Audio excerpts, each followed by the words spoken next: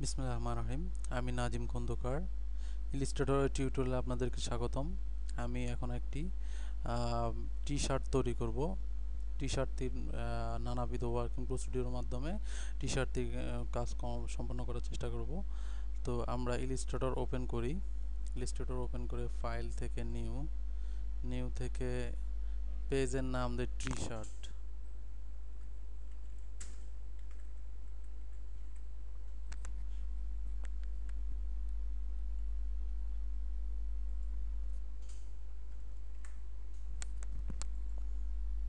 ওকে।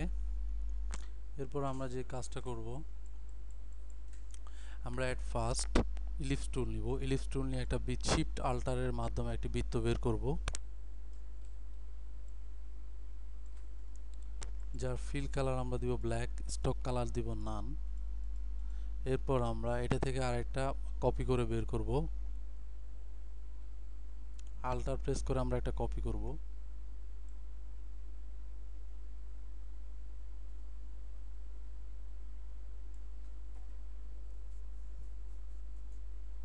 এরপর দুইটা অবজেক্টকে আমরা একসাথে সিলেক্ট করে চলে আসব উইন্ডো থেকে ফাথ ফাইন্ডার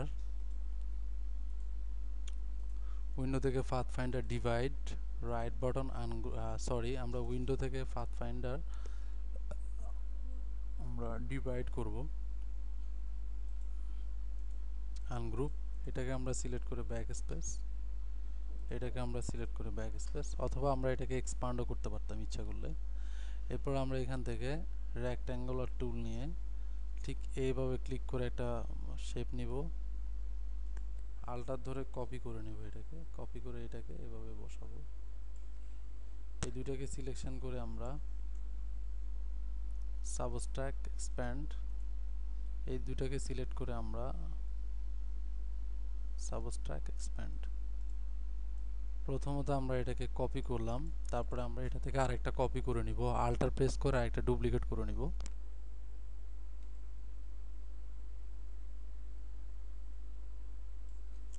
আল্টার প্রেস করে আমরা এটাকে ডুপ্লিকেট করে জাস্ট এটাকে আমরা শিপ ধরবো, তাহলে আমরা এটা বরাবর বা অ্যাকুরেটলি থাকবে।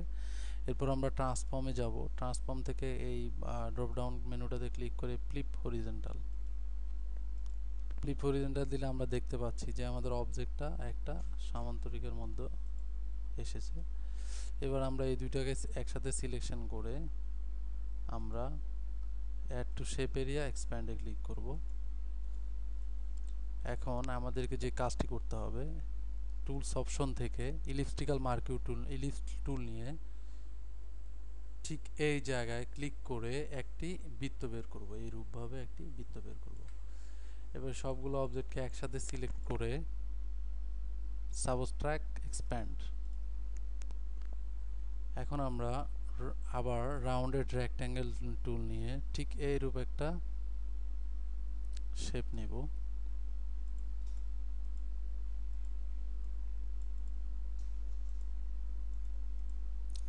দুইটাকে আমরা একসাথে সিলেক্ট করে add to shape area expand এরপর ইলিপস টুল নিব। ইলিপস টুল নিয়ে আমরা শিপ স্পেস ধরে এটাকে একটু উপর উঠায় রাখব। ইলিপস টুল নিয়ে আমরা একটি ছোট বৃত্ত নিব।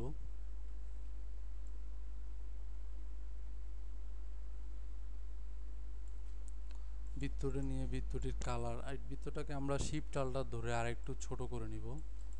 এটার কালারটাকে আমরা গ্রিন কালার দিতে পারি। গ্লোবাল গ্রিন তারপর আমরা ভিউ থেকে সৌরুলার নিয়ে আসব।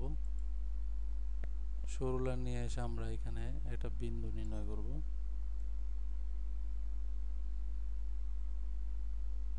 এইরূপভাবে। এরপর আমরা রোটার টুল নিব। নিয়ে ঠিক এই জায়গায় ক্লিক করব। করে আল্টার প্রেস করে এটা থেকে আমরা কপি করে বের করব।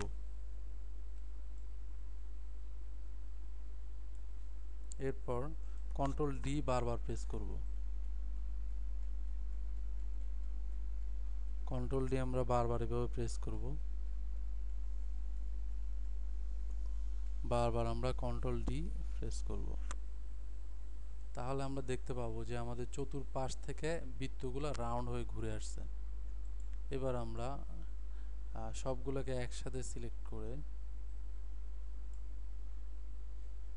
শিফট আল্টার ধরে প্রয়োজন মতো ছোট করে নিব। ঠিক এইরূপভাবে একটু ছোট করে নিব। এখন আমাদেরকে যে কাজটি করতে হবে, এগুলোকে একসাথে সিলেক্ট করে স্কেল টুলে ডাবল ক্লিক করে আমরা এটাকে হান্ড্রেড পার্সেন্ট করে দিব। অ্যাট ফার্স্ট আমরা এটাকে হান্ড্রেড পার্সেন্ট করে ওকে এরপর আমরা আবার এটার মধ্যে ডাবল স্কেল টুলে ডাবল ক্লিক করে এটাকে আমরা করে দিব eighty percent just copy eighty percent copy না করে আমরা একটা কাজ করতে পারি, এটাকে এইটি ফাইভ পার্সেন্ট কপি দিতে পারি। আমরা এটাকে এইটি ফাইভ পার্সেন্ট কপি দিতে পারি। কপি এরপর আমরা বারবার কন্ট্রোল ডি প্রেস করব।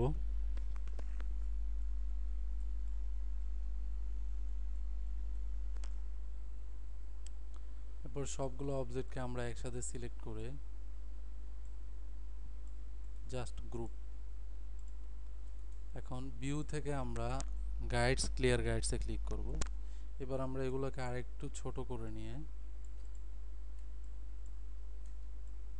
টি শার্টটির উপরে নিয়ে আমরা ছাড়বো।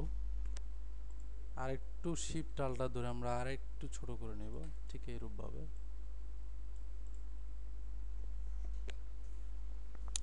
আমাদের যে টি শার্টটা আমরা তৈরি করতেছি, সেটা দেখা যাচ্ছে অনেক ঘন হয়ে গেছে। তো কোনো প্রবলেম নাই, আমরা এটাকে আর একটু ছোট করে নিতে পারি।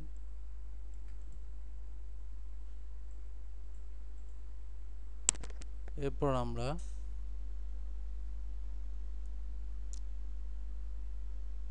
টাইপ টুল নিব।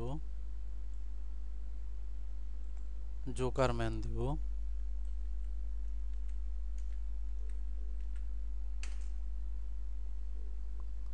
জোকার ম্যান দিয়ে আমরা এখানে লিখব Sanji the passion S A N J I D A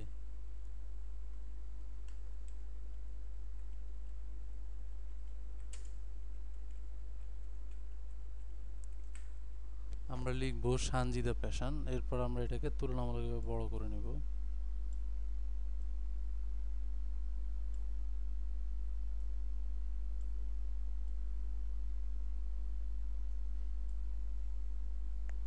আমরা এইরূপভাবে এটার মধ্যে একটা কালার দিয়ে দিব।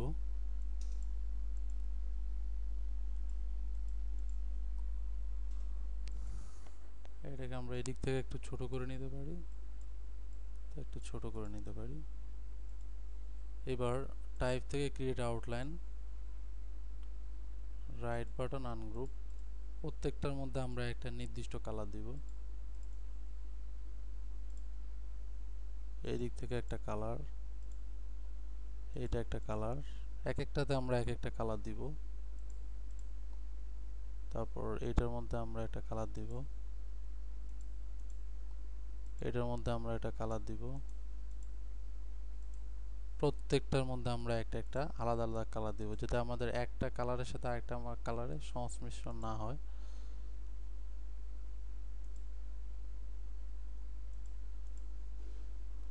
আমরা এই দিক থেকে আরও কয়েকটা কালার চুজ করে নিব।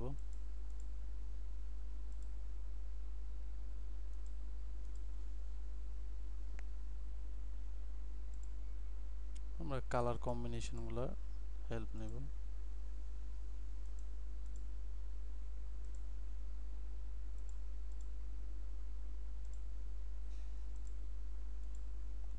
এই, আমরা টেস্টগুলার একাদশে একটা সিরিয়াল ওয়াইজ নাম দিয়ে দিলাম, সানজিদা পেশন এরপর আমরা এটাকে সিলেক্ট করে, এটাকে অবজেক্ট থেকে অবজেক্ট থেকে আমরা এটাকে লক সিলেকশন এগুলোকে আমরা সিলেক্ট করে এটা কাজ করতে পারি, ছোট করে নিতে পারি, এদিক থেকে ছোট করে নিতে পারি।